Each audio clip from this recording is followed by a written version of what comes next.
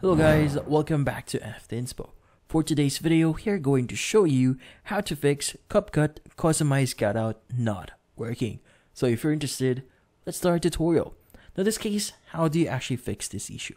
Well, fixing the issue is actually a pretty direct and straightforward process.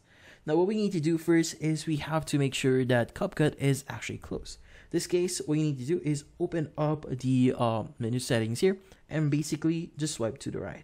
Now from here, what we need to do next is we need to press and hold on CapCut. Now in this case, you should be able to see share, app info, and uninstall. In this case, let's go and click on app info. Now in this section, what we need to do is we need to click on the clear data at the bottom right of your screen. And from here, you need to choose clear all data.